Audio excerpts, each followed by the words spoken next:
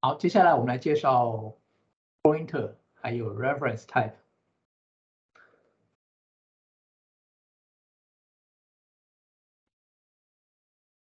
好，pointer type 呢，它是一个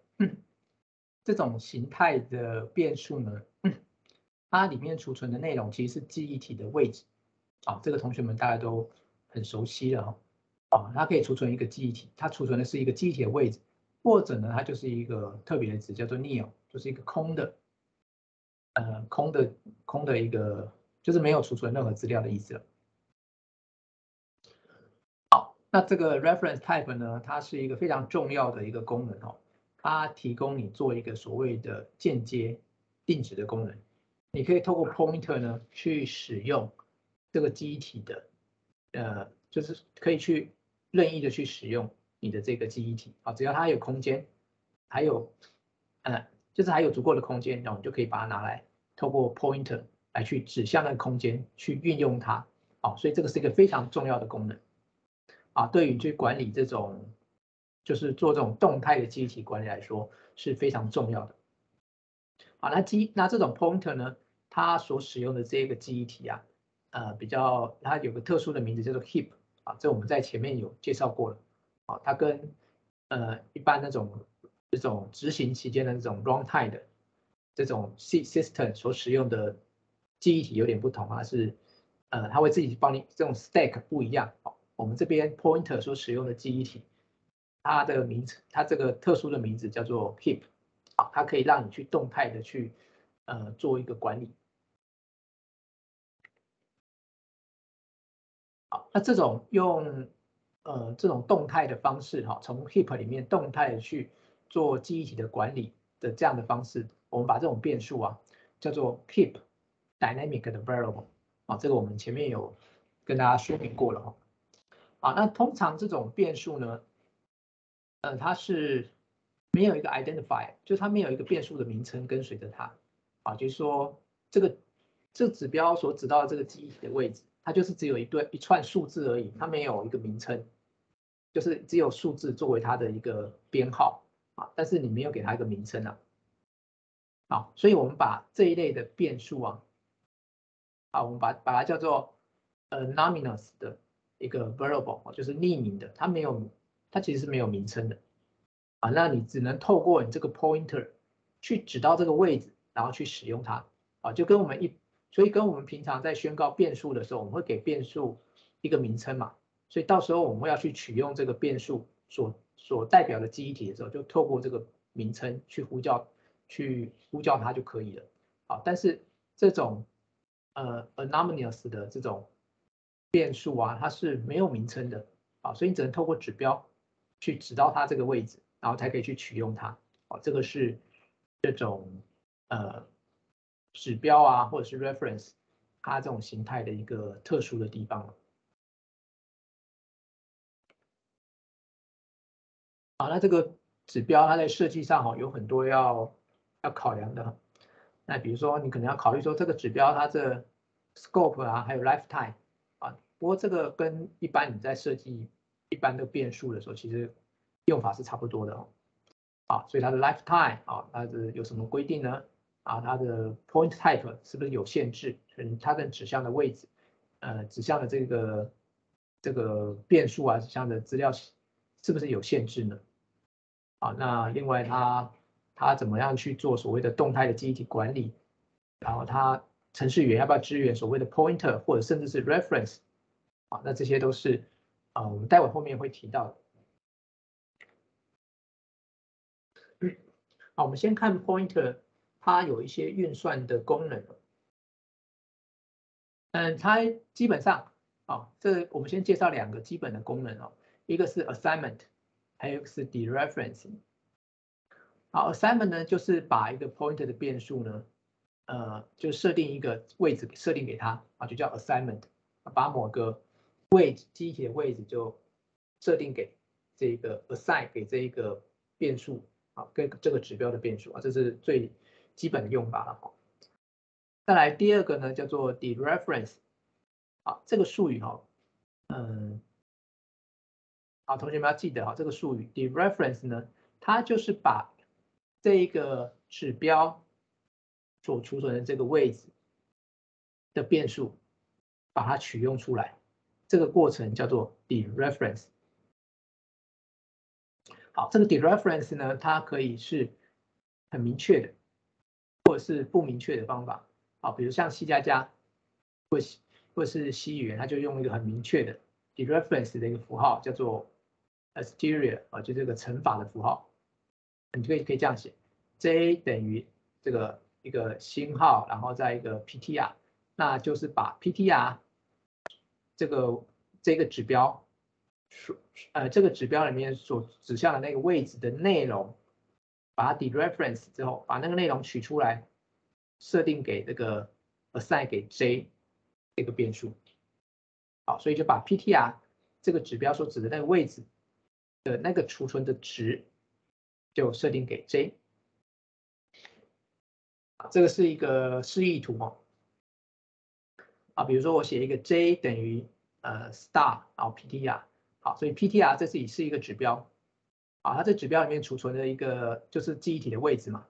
啊，它位置是七零八零，好，所以我们会去到七零八零这个记忆体位置里面去看它储存的内容是什么，好，它储存内容是二零六。好，所以我就把二零六的值呢储存到 assign 给 J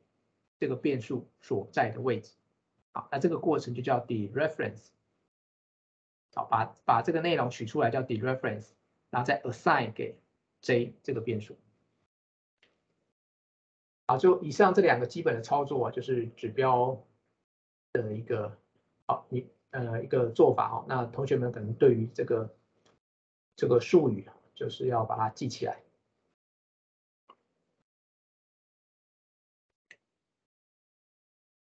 啊，那另外还有一些常见的 pointer 的运算方法啊，比如像是在 C 跟 C 加加啊，那如果说你的 pointer 它是指到一个一个呃 record 啊，比如指到一个 class 或者一个 struct 的话，啊，那你就可以这样写，啊，这么一个新啊。呃，用个星号，然后再用个点，啊，可以就是可以去使用这一个，比如说这个 class 它的某个某一个那个栏位，啊，或者是你也可以写成这样，啊，这样就比较简单。好，那在阿达的话也是有类似的用法，哈，就是它可以写成 p 点 age，好，这个就是大家规定不一样，哈。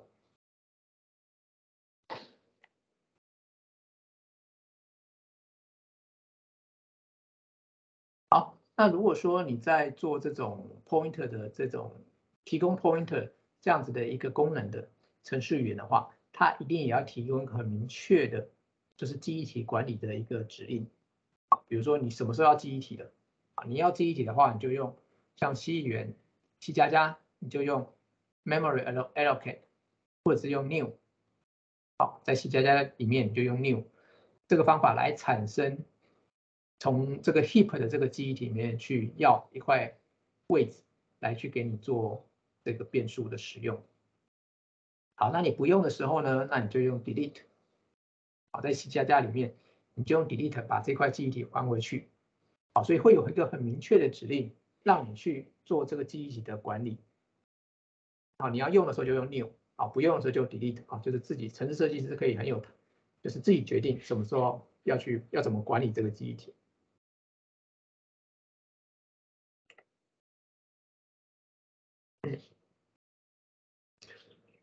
好，那当然指标使用起来哦，它会有它的风险呢。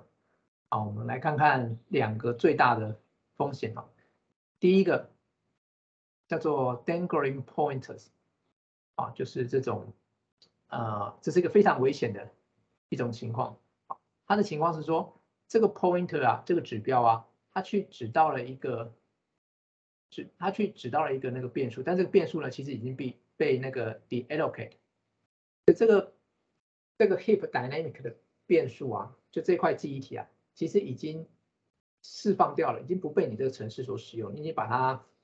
就是 delete 掉了。好，但是你你的程式出现了问，就是设计上有个问题，就是你有 pointer 还去指到这个已经被你 delete 掉的这一块记忆体位置。那这样的话，一定就是程式就是挂掉了，就用到一个不该用的你你这个程式不该用的记忆体，好，所以这个是非常危险的事情哦。一遇到的话，你程式就宕机了啊，就有问题了。啊，所以这个叫做 dangling pointers。啊，这是最大的一个问题。好，再来第二个问题叫做 lost heap dynamic variables。好，这个没有像上面的这么危险，但是呢，这个东西这个遗失的这种这种变数啊，它会造成你的记忆体的呃使用的效率变差。好，这个是怎么回事啊？好，这意思就是说呢，哎，有一些这种 heap dynamic 的 variable，啊，你把它创造出来，你 create 你产生了好多个，好，但是呢，可能之后就不再用了，啊，你就是 no longer，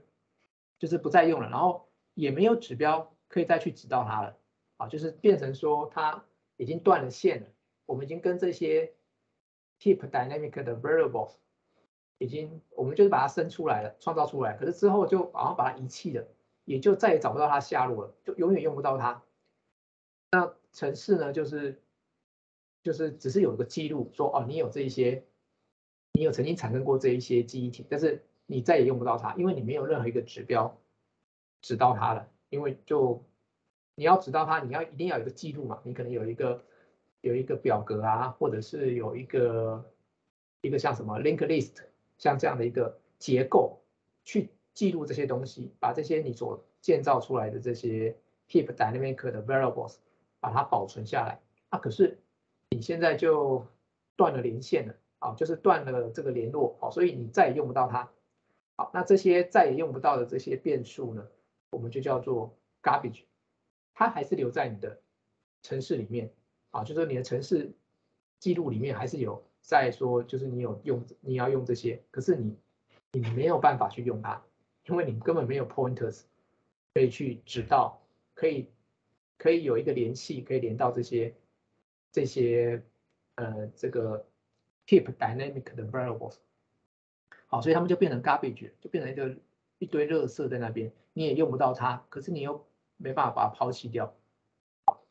好，所以像这种例子啊，呃，就是写程式的。之后就不小心啊，没有很很细心把这个连接保留好啊。就是如果你不用了，你就把它删掉了，你就还回去了。那你不用，你也不删掉，然后过了一段时间你又断了联系，那就再也没办法用这些东西了。好，那这个就是会占用，他们就占用了记忆体，那就是造成一个资源的浪费。好，所以例如说像 P one 这个指标就指到一个你自己产生的一个。呃，这个你用这个指标好去产生了一个 new 一个新的一个这个 heap dynamic 的 variable，那可是过了不久呢，这个 p one 呢又去指到另外下一个新的一个机体位置，哇，结果你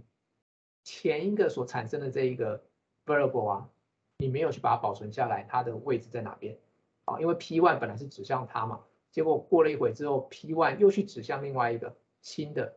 一个 variable。那前面那一个呢？如果都没有人去记得它的话，它就消失了，就没了，就就是变成一个 garbage 啊。那我们就把这种现象啊，这种产生 garbage 这种现象，我们就叫 memory 的 linkage 啊，就是记忆体的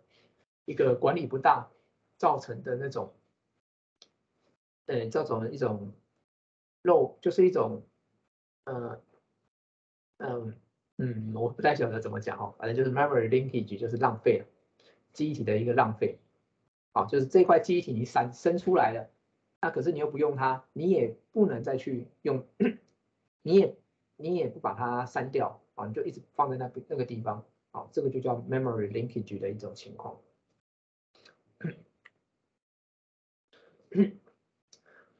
所以 pointer 呢，在 C 跟 C 加加是使用起来是。非常有弹性的，对于动态记忆体的管理来说是很重要的一个功能。好，那但是使用起来就是要很小心哦。好，那 pointers 呢，它就是可以去，就是可以指，你可以用 pointer 去指到任何一个呃任何一个记忆体的位置。好，那那就是呃，它在 C 跟 C 加加里面呢，它对于这种动态记忆体管理来说啊，它都提供了很一个必须的。一些指令都提供给你的，啊，也可以做一些 pointer 的那个一些运算。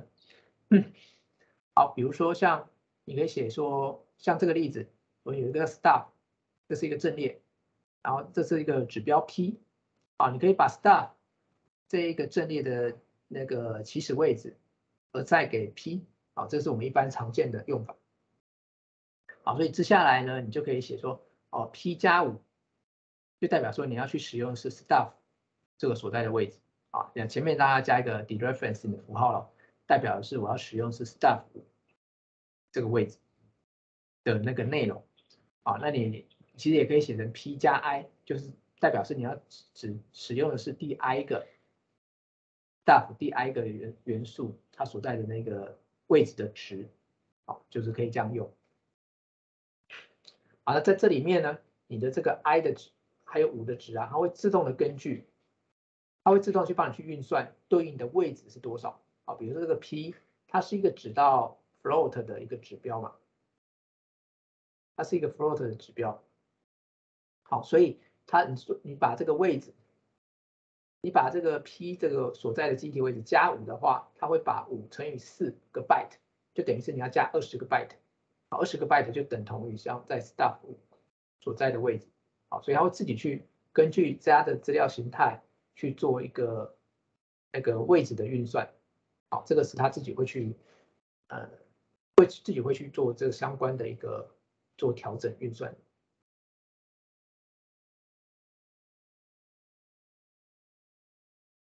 好，那指标里面有一种特别的形态，叫做 void。啊，void 指的意思就是它可以是任何一种形态。好，这我们把它叫做 generic 的 pointers，啊，就是那种万用型的。的这种指标，它可以是任何一种形态。好，那对于这种 void 的这种指标形态啊，它呃，你会想说，那它这样，它既然是万用型的，那可以做形态检查吗？呃，在 C 跟 C 加加里面，他说这不是个问题哦，因为这种 void 的形态的指标啊，它是不能被 dereference，你不能把它里面的值，就是把它。读取出来，啊，这是没办法的，啊，就是只是纯粹就指到那个地方，啊，所以这种 pointer 的这种 void 的这种形态的 pointer 呢，啊，我们可能常常用来去作为函数里面参数的传递，啊，参数的那种，呃，来代表参数的形式。好，就这举个例子来看哦。好，这边我们宣告了一个叫做 enumeration 的 type。好，它有 integer、float，还有 string，有三种这种形态。好，那这边是有一个叫做 print 的函数。好，你看到这个 print 函数里面，它的参数啊，它就有一个指标，这个是 void 形态的指标，啊，叫做 p value。好，那你下面就是它的程式码。啊，我们来看一下这程式码在执行什么。好，执行的时候从 main 开始嘛。啊，我们说 main 里面呢，我们定义了三个变数。啊，有 integer 的，有 float 的，还有这个字串。好，那我们看我的下一行，啊，在第三十三行这边，我的 print 呢，这个函数，我把 n value 所在的位置传给他，然后后面再传一个，呃，再传一个参数叫 int。好，那我去呼叫 print 这个这个函数的时候呢，好，就在这边，就我呼叫这个函数。我传回来的这个 p value 呢，它就是设定成是 n value 所在的位置。好，所以这个 p value 的值就是 n value 到这里，n value 所在的那个位置。啊，n value 它是一个整数嘛，好，所以它就是指到，它现在是指到了一个整数了。好，然后它的 type，它这形态我这边是记忆成是 int，就代表它是一个整数的形态。好，所以你看 print 里面啊。它的写法是这样，它把它写一个，它就按就是看你的 type 是什么。好，如果是 integer 的话，int 的这种形态的话，好，那我就做什么？我就把这个 p value 啊，它的值啊，就先做一个强制转换，就是做一个 static test 这样一个转换。好，把它的型别做转换之后，再把它 dereference。好，不然的话，我们有说过 p value。这个东西是不能做 dereference 的，因为它是 void 的形态。好，所以你要把它的里面的值读取出来的话，你要先把它做强制级别型别转换，转像这里我们就转换成 integer 的形态。好，因为我们有说明了哈，这个是它的形态是 integer 的，好，所以它就会把它转成 integer 的，强制把它转成 integer 的形态，然后把它才能去解读这一个指标里面所储存的那个所指向的那个值的位置。那个位置的那个值，好，才把它输出出来。好，那如果说你传的你你的下一行第三十四行啊，我们传递的是 f value 的这个这个变数的位置，好，f value 在这里嘛，它是一个 float 的形态，好，所以我们后面呢就说明这是个 float。那我再去呼叫这个 print 的指令的时候，这个函数的时候，好，一样，这里的 p value 呢就设定成是 f。value 的位置，那它的 type 呢就是 float 的 type，好，所以你在执行的时候，它就会看你的 case 是 float 的时候，它就把它强制转换成 float，把你这个指标所指的，呃，这个把这个指标它的形态强制转换成 float 这种指标的形态，然后再去把它做 dereference，好，再把它列印出来，好，那下面的 string。哦，也是一样类似的用法。好，以上就是呃我们对于这种 void 形态的指标啊做了一个范例说明。